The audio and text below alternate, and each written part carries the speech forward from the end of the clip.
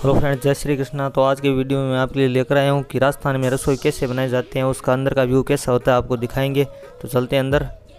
देख सकते हैं साइड में तीन ये जो स्लेब डाला हुआ है और ये जो चूल्हा होता है, अपना चूल्हे के ऊपर बनाया है धुआँ जाने के लिए, जिससे धुआँ क्या बाहर ना खिंडे। देख सकते हैं आप क्या तकनीक से बनाया है दोस्तों।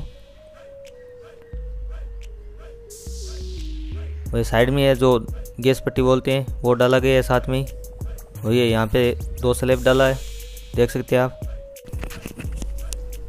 तो बात करते हैं, ये जो प्लेटफार्म है, इसकी हाइट की फर्श से तो इसका बत्तीस इंच रखा है, और ये जो चिमनी बनाया है धुएँ के लिए, इसका भी फर्श से बत्तीस इंच रखा है दोस्तों। देख सकते हैं आप किस तरह बनाया गया है, धुआँ सीधा ऊपर जाएगा दोस्तों। इसका इस तरह डिज़ाइन किया है दोस्तों, देख सकते हैं आप। वीडियो पसंद आया तो वीडियो को लाइक कर दें दोस्तों। चैनल पर नहीं हुए अभी तक आपने चैनल को सब्सक्राइब नहीं किया तो चैनल को सब्सक्राइब भी कर ले, क्योंकि इसी तरह के वीडियो हम रोज़ाना लेकर आते हैं आपके लिए।